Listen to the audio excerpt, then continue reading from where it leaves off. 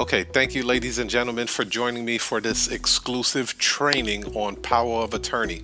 Uh, this one, we're going to discuss how to fill out a power of attorney in the state of Illinois. Now, you may have to check the state that you're in.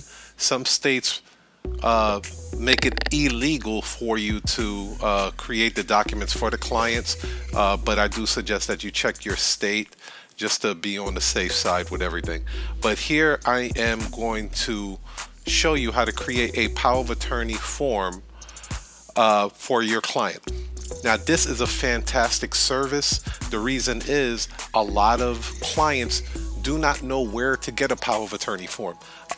As you can see at the end of the name, power of attorney, they feel that they need to go to an attorney to get this form, which translates into costing a lot of money, being very expensive. But in reality, no, they do not need to go to an attorney to get a power of attorney form. So I'm going to show you guys real quick how to create a power of attorney form. So let's get right into it. So the first thing you guys have to understand are the main players in the power of attorney. You have your principal. The principal is the person that has the power, okay?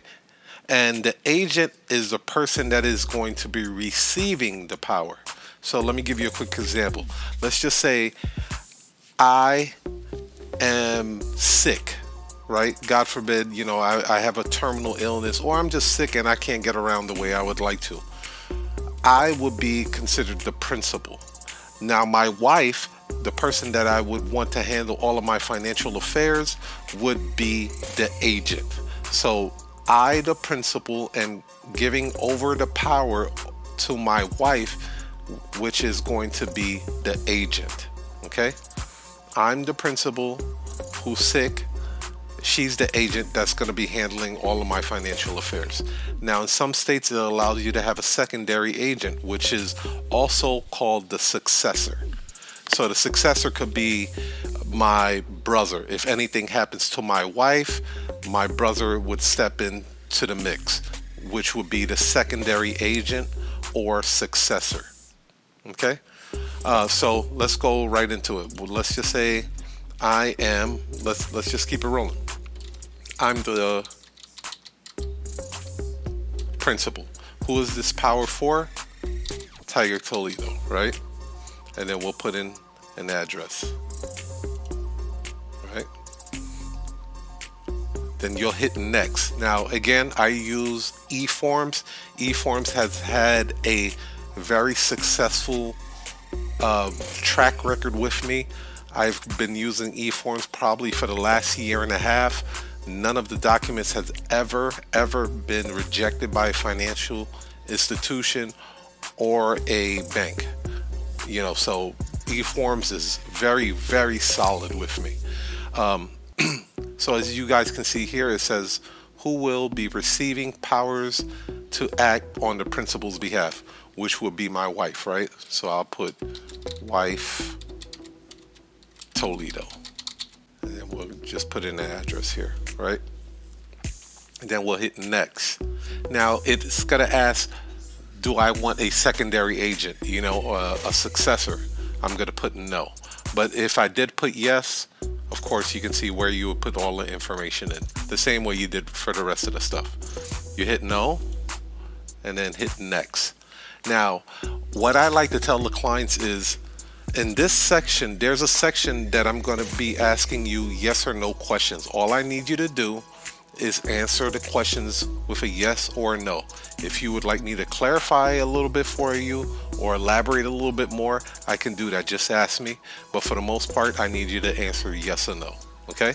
And right down here, you guys can see where it allows you to you know go into more detail so if they say uh, banking what does that mean banking well to receive to receive and deposit funds with any financial institution and to withdraw funds by check or otherwise to pay for goods, services, and any other personal and business expenses. As you guys can see, it gets very elaborative and it should give people a very good indication of what that clause means. So then I'll just go back into it and be like, okay, will the agent, which is you, or in my situation, which is my wife, have the right to access the principal, which is myself, bank accounts?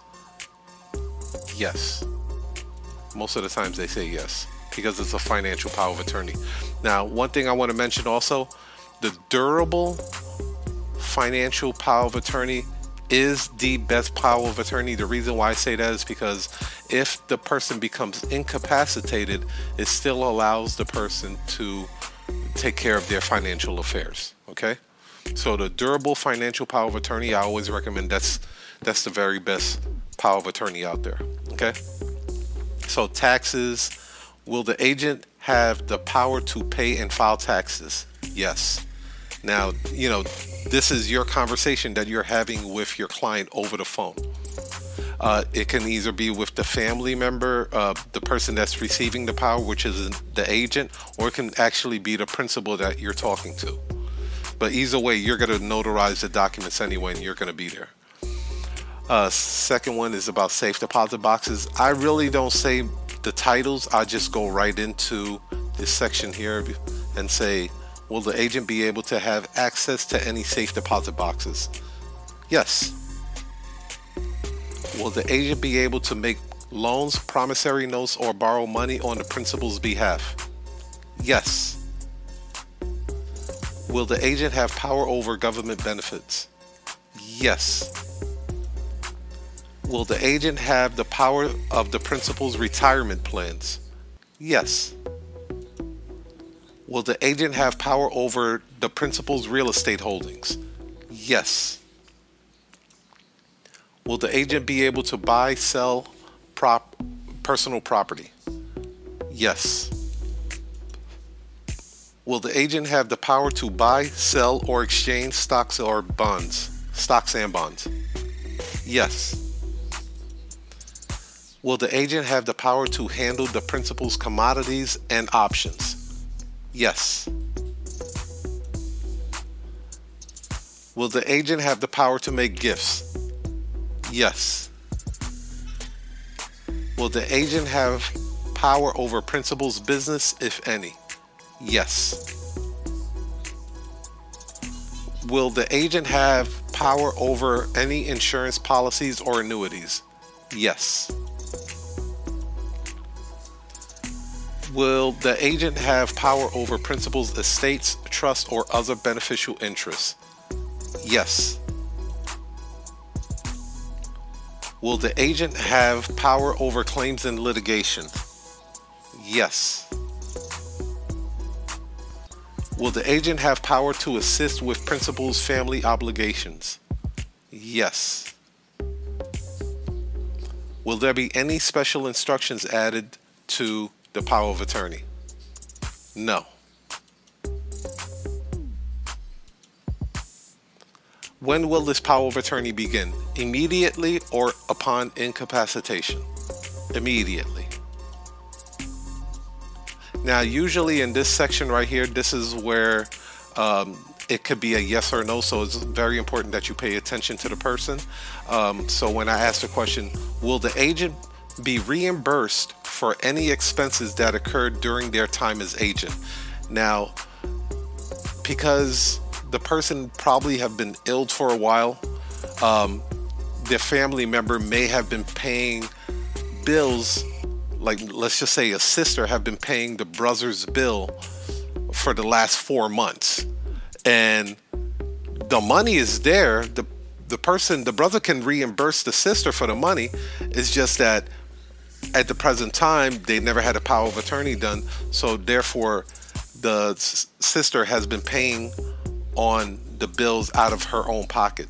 So just pay attention and be and take your time with this section here, where you say, Will the agent be reimbursed for any expenses that occurred during their time as agent?